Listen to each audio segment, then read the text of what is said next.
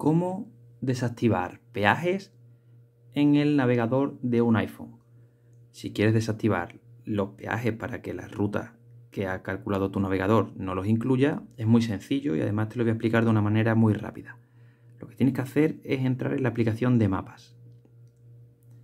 Aquí tendrás que poner el destino de tu viaje. Vamos a poner este mismo. Y ahora, bueno, desde donde vas, poner, por ejemplo, uno que sea cercano, que no tarde mucho. Este. Vale, y le damos a ruta. Ahora, aquí abajo, va a calcular las distintas rutas.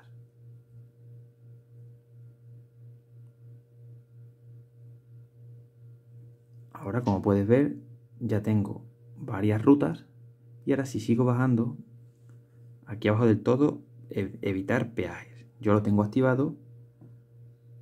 Como puedes ver, si lo desactivo, recalcula la ruta y entonces en estas ya puede ser, como puedes ver aquí, por ejemplo, evita peajes. Aquí pone peajes obligatorios. Entonces simplemente cuando lo actives, tiene que recalcular. Asegúrate de que tengas los datos bien y todo bien, ¿vale? Y como puedes ver, estas ya son eh, evitando peajes. Le darías a ir y ya está. Por ejemplo, esta no, porque esa te la pone, no sé por qué. Pero hay rutas más rápidas con peaje. Vale, le darías a ir y ya está. Y así sería. Espero que te haya servido el vídeo. Si es así, te agradecería un me gusta. Hasta la próxima.